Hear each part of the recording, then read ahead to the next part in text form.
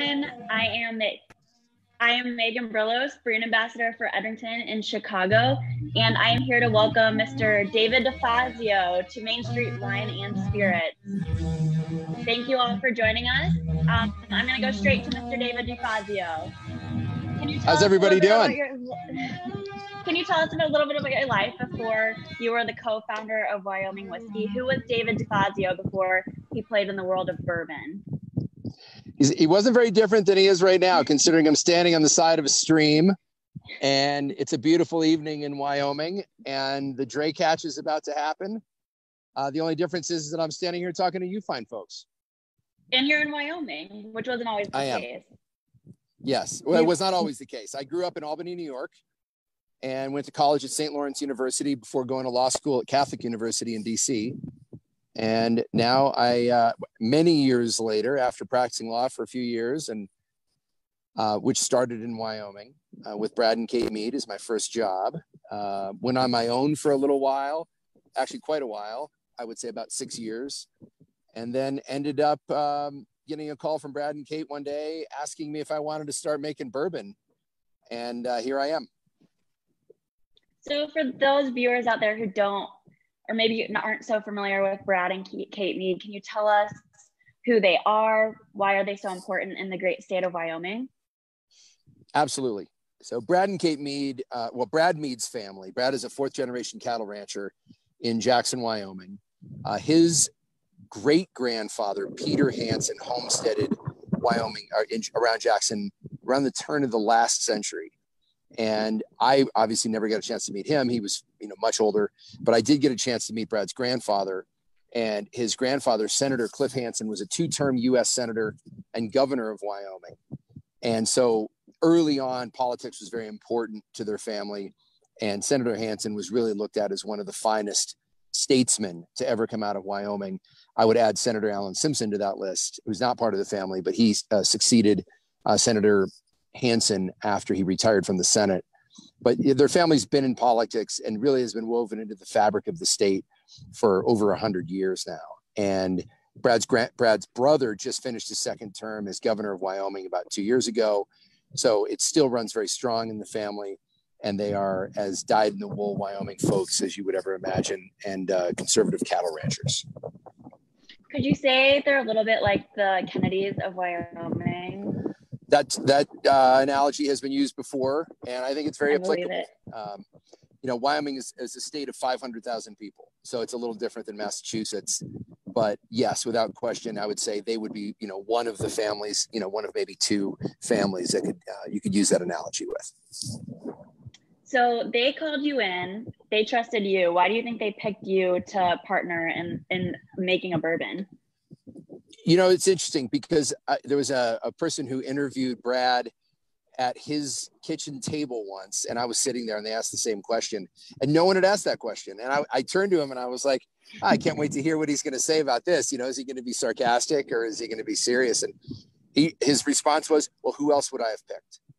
And you know, that really said it all. To me, that says that he trusted me, you know, to have the ability to figure out how to do it because everybody knows I had no experience in building or running a distillery, but uh, I think in working for the law firm, I was able to show that I knew how to tackle any type of issue, handle it reasonably, you know, and get reach a decision as to whether or not it would be economically viable or not. So, what do you bring to the table versus the Meads? Do you have certain roles between the three of you?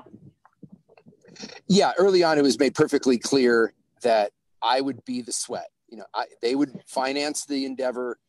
And obviously, you know, Brad was my ultimate boss. Um, and then between he, Kate, and I, we would make major decisions. We didn't have a formal board or anything, but you know, we would make the decisions on what was going to happen. And but overall, it was I was the one who was doing most of the work, if not you know ninety percent of it. And then I would bring the major decisions to Brad or Brad and Kate, uh, and then once the decision was made, I would get it done. So I was the legs. I, I'm the one that's always moving and I need to be that way. I mean, it's I can't sit still. And I was running a law firm at the time as well. Um, I had two full time jobs. I was building my house in Jackson. I was training to ski the Grand. My dad, who is an overachiever as well, said, "When are you going to slow down?" And I said, well, as soon as I get the distillery built, as soon as I ski the Grand, you know, then I'll just have two full time jobs. I'll be fine. So I brought the energy. It seems like you still don't. You're still always on the go. Every time we catch up with you, you're in a different place. You're doing something. You're always in the wilderness. It seems like you're never really slowing down. There's no such thing as Netflix and chill night for you. No, that happens later. That's when it gets dark, because it gets it's light until almost ten o'clock in the summer out here for about a month and a half.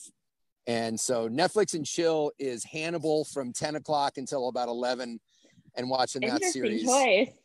yeah, uh, I've burned through a number of other episodes. I'm a I'm a Star Wars and a uh, Star Trek geek, but I've I've burned through all of that and watched them plenty of times. There's an antelope running right behind. If I can see him, I'll show you. But uh, so no, I love being outside. That's why I live in Wyoming.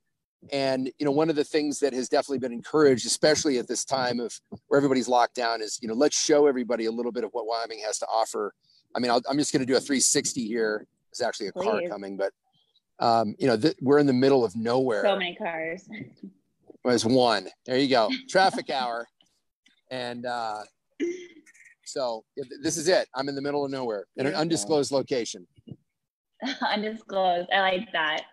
Um, so let's go back to the Meads a little bit. You talked a little bit about the prominence of their family. Can you talk about how that prominence kind of shed a spotlight on you guys? And because of how well known they were, you guys kind of had to take the path of most resistance at every turn, especially like when you were in the beginning.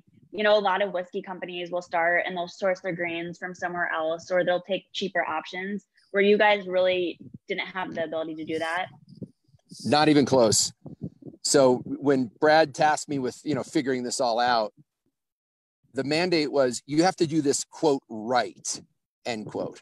Now you got to go back to 2006 when this idea was hatched. There was no playbook when it comes to craft distilleries. There were no craft distilleries. You know, there was Stranahan's had started. I believe there were one or two in, in Texas, but no one was really talking about them yet. There wasn't a craft spirits market.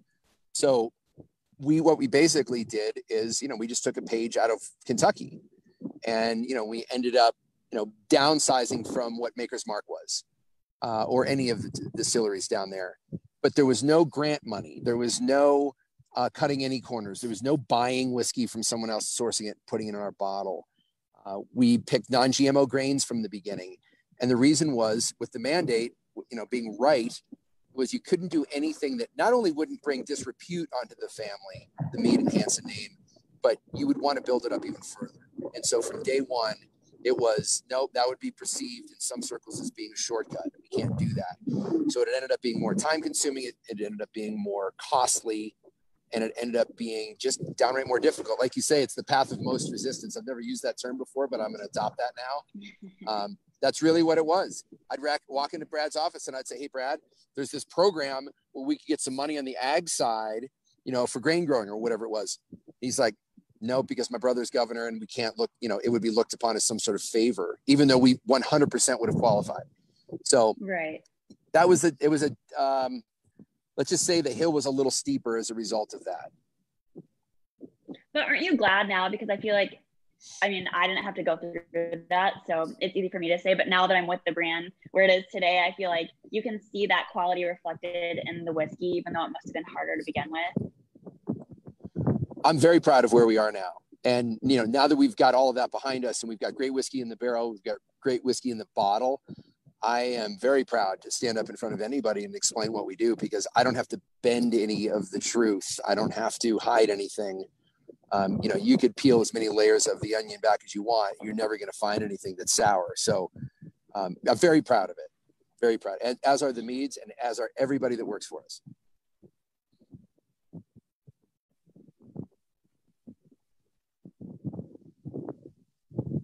Sorry, did I freeze on you? Lessons that you learned. Um, I think you're fine for me right now. Do you have any lessons that you learned along the way that you'd be willing to share with us? Uh, I think we lost him.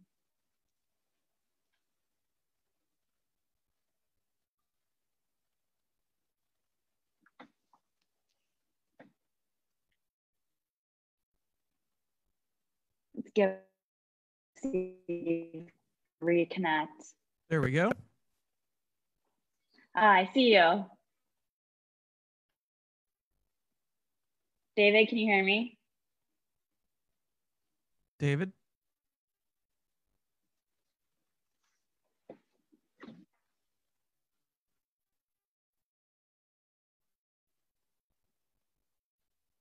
We'll give him another moment to reconnect.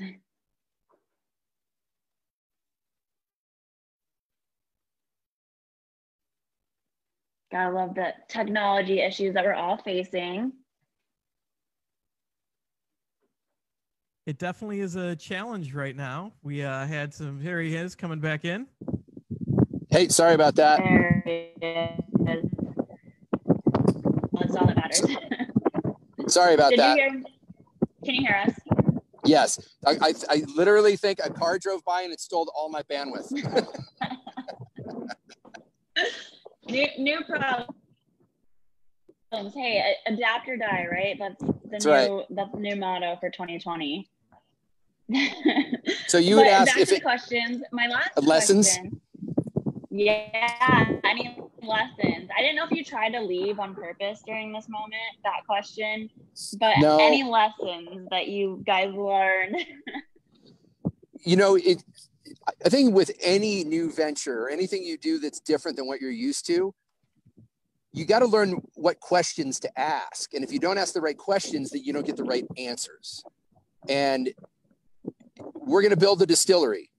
So, you know, if I were to ask you, okay, I need you to go out and start a distillery, you know, what's the first question? You know, how do you start? And then each, as you take each step, what are the different forks in the road that you need to be aware of? And what's, so asking the right questions is really, I think, the most important thing. And if you don't, I didn't ask all of the questions. I never understood how difficult distribution would be. And candidly, that is the hardest, that's the highest hurdle to get over. Thankfully for our partnership with Edrington, you know, and through all of the commercial team professionals like yourself, everyone else on this call, you know, we are now getting out there and we could touch more people, but we didn't have the ability to do that before. You know, it was pick one or two spots and do the best you can. And now we have the ability to bring it to the rest of America. And I think now that we're getting out there, word of mouth is probably going to pick up more and more and help us. But distribution far and away is the one lesson that I, whoa, you know, and any small distiller is going to say the same thing. Yeah. Interesting. That's not what I would have thought. Um, and you What touched on this a little bit you- earlier, but can we go Uh-oh. back? Another car, I might lose bandwidth. Oh, is there another car? Uh, go ahead.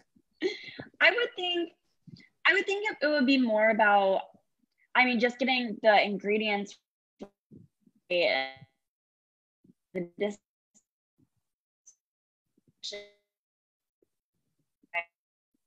and I mean,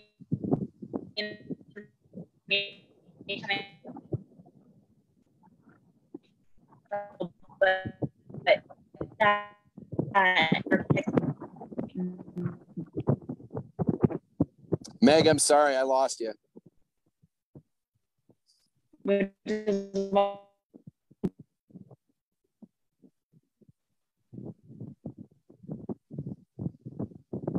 All right, so we lost Meg there, but I can pop in. So, what was that uh, questions you were going to ask Meg about what uh, what you thought in terms of the most difficult thing? After that, what were you going to say? Well, she said that, you know, she, it wasn't what she had expected. And my question was, well, what would you have expected? You know, I remember when we first started distributing Wyoming whiskey here in in Chicago, and some of the conversations we had, and it it it it it definitely, you know, there's that whole build it and people will come, but then there's the you got to build it the right way, you know, side of the equation, and I think that's one of the things that you guys definitely did uh, the right way, which was taking your time and making sure the whiskey was great before you went and started reaching out to those distributors outside the state. Tell us about some of the things new that we have uh, on the horizon. nationally, the coolest thing that's going to be coming out is going to be this year's Outrider. Um, Outrider, as you know, is the one. It's it was uh, the, the product that was never meant to be, but thank God it was be- and is because it's arguably the best thing that we have available, and it's just getting older every year. This year is going to be an eight-year-old product Wow. that is um, off the charts. Uh, we're batching it now, and it'll be available to more accounts across the country this year than last year by far, and of course in Wyoming. And uh, so I'm excited about that. The label is going to be printed up here in the next two weeks, and we'll be probably filling bottles in about three to four weeks. So that's going to be the coolest thing coming. Excellent. I'm looking forward to it. I'm enjoying some of uh, last year's Outrider as we speak. Uh, so I'm looking Excellent. forward to tasting the next one.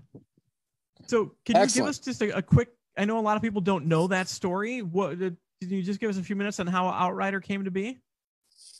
Sure. So Steve Nally was our first dist- uh, distiller, and he spent 33 years at Maker's Mark. He was born in Loretto, Kentucky, and you know, right next door to the distillery. He started, I think, as a security guy, and then a yeast manager, and all those things. And the one thing he did is he made wheated bourbon. And when I proposed to him in the fall of 2010 that we make rye, he was adamantly against it. He was like, no way. And I said, well, why not? He goes, rye sucks. And I, you know, and I, but well, it doesn't matter what you think, Steve. It doesn't matter what I think, but America's starting to drink rye. And there'd been just a, you know, a little bit of a, an uptick in rye consumption in the United States after a long period where it's looked at as just swill. So we um, I had to really lean on him, and he still wouldn't do it. So I finally had to get uh, my partner Brad, an ultimate boss, to uh, force him to do it against his will. So he did it, and he was pissed.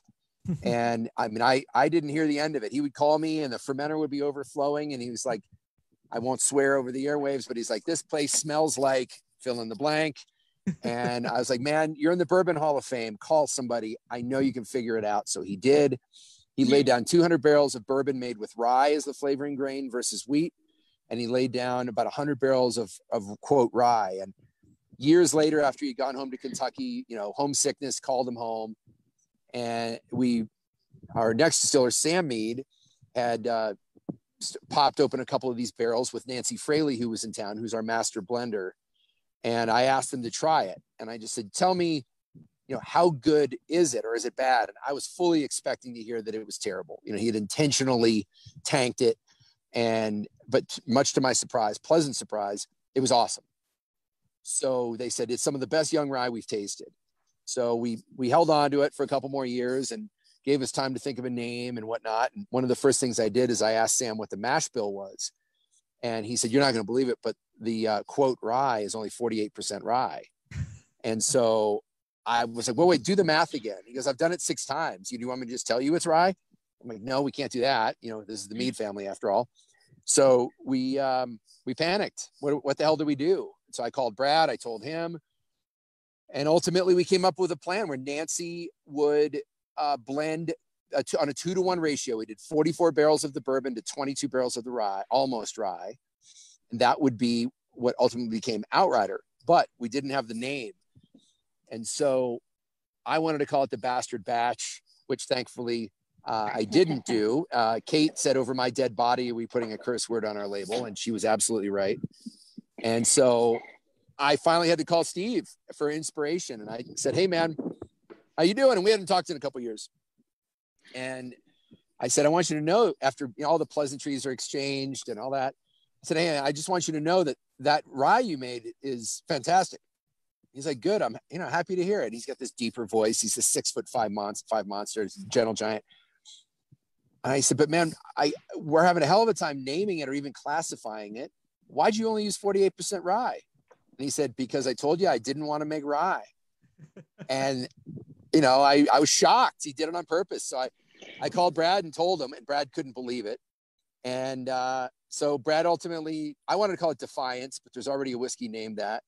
And so Brad came up with the term outrider, which is in cattlemen's terms, that's the rider that the riders that ride on the flank of the cattle herd and keep all of the strays in with the herd. And that's kind of how we looked at these outrider barrels that they they were intended to be something else and they are not, but we brought them in and we made them into something absolutely spectacular. So bourbon is typically three grains and uh, the regular Wyoming whiskey is going to be your wheat, your corn, uh, and the malted barley. So does the yes. Outrider a four grain whiskey then? No, there's no wheat in Outrider. It's okay. corn, rye, and barley. That's it. I think we lost Megan again. Uh, all right. So, what is uh, you want to tell everyone what you're doing out out in the wilderness today? Yes, I will. Uh, so I'm standing next to a river that I'm not going to name, and there is going to be a fantastic green drake hatch and a caddis hatch here within about 40 minutes. And I just ran my truck down to a takeout, and I'm going to walk a mile up the road here, and I'm going to go meet up with my buddies who are waiting for me nice and patiently and we are going to float some of the most beautiful country uh, on the, one of the more beautiful rivers and we are going to catch some nice fish and i'm watching a friend of mine ride a bike right now to shuttle his vehicle so that's where i'm at. That sounds like you have an excellent uh, evening ahead of you. I do. I do indeed all right well i wish you had some wyoming whiskey there with you uh, i will have to uh, go ahead and and and have some in honor of you. I'm sure that there might be a small supply on your fishing boat there. There might be. There's always whiskey on the boat. There's got to be whiskey on the boat. That's the rule of the USS Wyoming. Is is your boat actually the USS Wyoming? It is. It's number 32 and what what it was, the USS Wyoming was a battleship around the World War 1 time and it ended up it was an active duty and then it became a training vessel after that. I think it took on a new name and a new number. But uh, i figured since my it's gunmetal gray and so i got the old the navy numbers with the back shadow and all that and uh, got the wyoming flag on the back. And uh, she's ready for she's ready for battle all the time.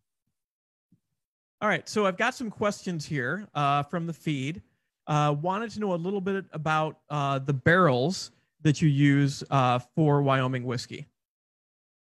They're 53 gallon, new white charred American oak, and they come out of uh, Missouri and Arkansas area. Uh, Independent Stave is the company that we buy all of our barrels from.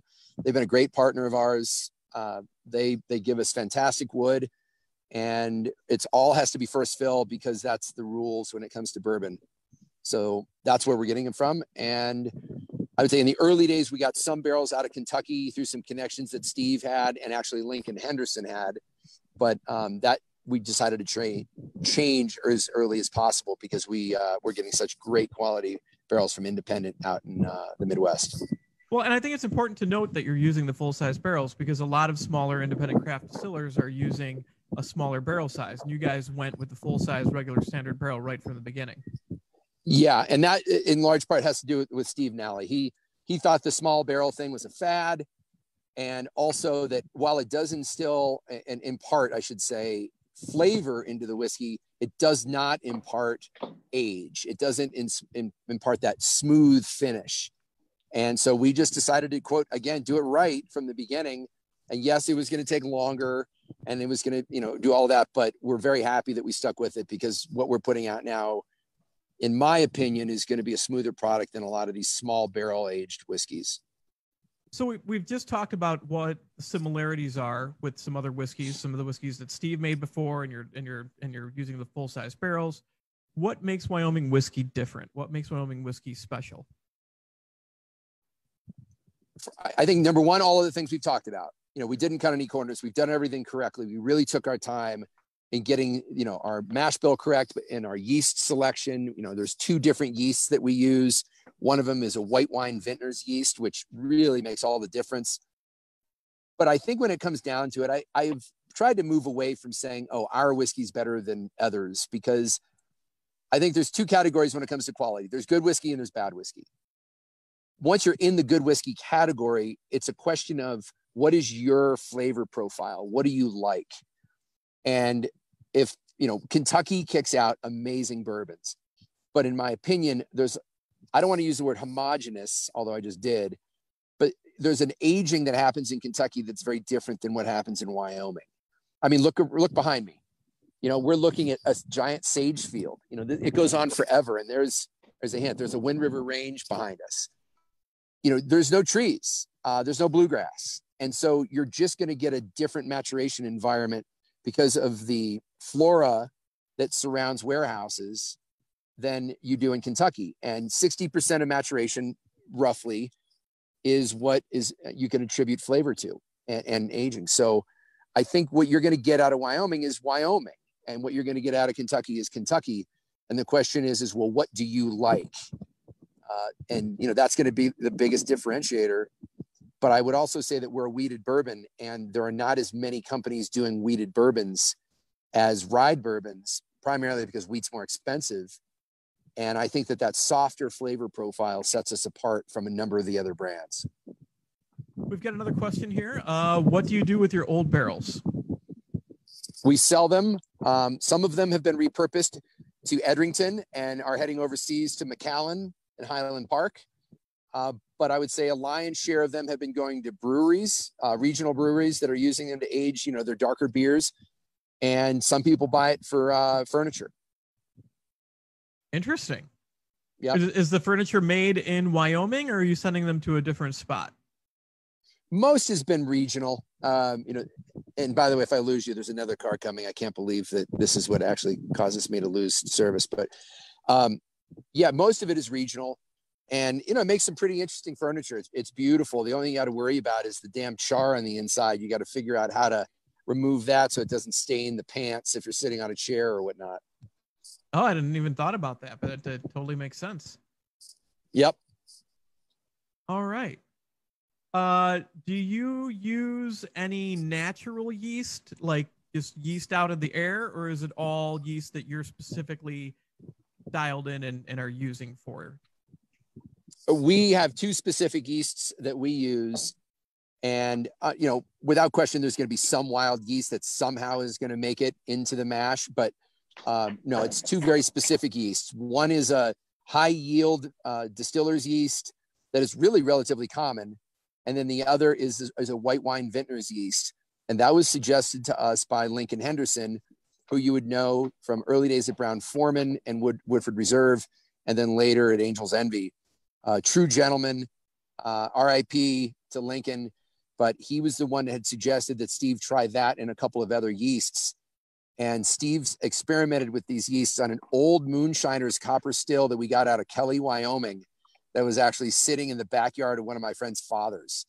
Wow. And so Steve had to like, uh, not weld it, um, but he had to basically had to, to seal up some of the holes. And it in his backyard, he looked like a moonshiner. He just didn't have the beard that you would expect. so I uh, got one more here. What's your favorite cocktail with Wyoming whiskey? I'm, I'm going to give you a seat two answered with two. Uh, in the summertime, it's the brown derby without question. I like lighter cocktails in general, especially in the summertime. And the brown derby doesn't taste like bourbon. It, it really comes across as a much lighter, uh, dare I say, almost tastes healthy. It's a, fr- and it, all these ingredients have to be fresh in order for it to be good. But it's fresh grapefruit juice, fresh lime juice, honey simple syrup, and our small batch bourbon to me, that is the most refreshing summertime cocktail that you can have, short of a clear spirit, you know, like a gin or a vodka. It, and it, like I said, it doesn't taste like bourbon. Um, it comes across really light. I think that's important in the summertime. In the I winter, we may have a video of you making that cocktail on our YouTube page. Yes, you do. That was uh, during the COVID thing. Uh, I did it on my deck using the snow as a bar. But yes, that's that's the cocktail. It actually won our first bartending competition that we did. Uh, we call it, it's the uh, Wyoming Whiskey Shootout. And uh, we did it just in Wyoming. We've since expanded into Colorado. We're going to be, and, and Idaho. We're going to be expanding it probably not this year. We're probably going to put it on hold for obvious reasons. But yeah, that would be the number one. And then I would say I really enjoy a really good um, Manhattan made with our Outrider but it has to have a little bit of orange to it. So, you know, you're going to put in a little bit of Grand Marnier um, on the top, and there's an orange bitter that I like to use as well, as long as well as the uh, the Antica vermouth, which I think is just the Carpano Antica vermouth is just you can drink it by itself. Oh yeah. So that shaken with ice, I think, is just a sublime cocktail. Much heavier, obviously, than the Derby. I think Megan's going to step back in here. I think she might actually have a cocktail for us if we are technically going to make this work. Let's see. I think. All right. It looks like it's freezing up. So I think what we're going to do, David, is we're going to go ahead and take a video of the cocktail and we Okay. are going to post it later. Uh, we will share it on the live stream, and we will be able to uh, then take it and we'll put it up on the Main Street site. We'll put it up on our site, and we'll get it up out there for people to take a look at and share. Excellent. And uh, I guess one question that I would have, if people could give you a little bit of feedback, is do you enjoy this versus me sitting in my house? Would you rather see me out here in this great place, or would you rather see me at home? And I'll leave you with that question. I, I, I, would always rather see you anytime, any place, because uh, we've known each other for quite a few years, and I've enjoyed quite a few Wyomings with you, and I'm looking forward to when we're going to next have the opportunity to do so. Well, why don't you come out and join me on the river? I, I would love to. I would absolutely love to. All right. All right, my friend. Thank you very much. Thank you, David. Great to see you, and we'll see you soon. Cheers. All right. Have a good night. Good night.